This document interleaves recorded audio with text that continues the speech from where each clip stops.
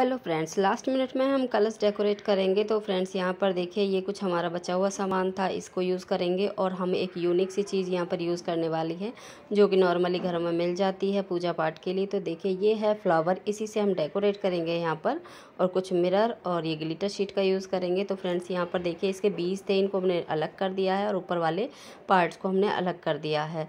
तो इनको यूज़ करने वाले हैं हम तो ये लेंगे हम फेविकॉल और इसको हमने लगा लिया है इस तरह से और उंगली से। इस तरह से हम इसको कर लेंगे।